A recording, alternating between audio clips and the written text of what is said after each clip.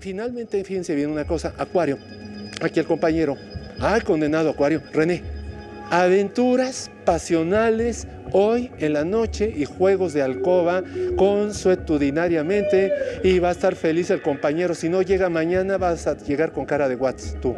Entonces, pues la oposición con la Luna y Marte exactamente. Ten cuidado porque entonces el compañero sé que puede, pero no va a ser que pueda tanto y después se queden con una cara...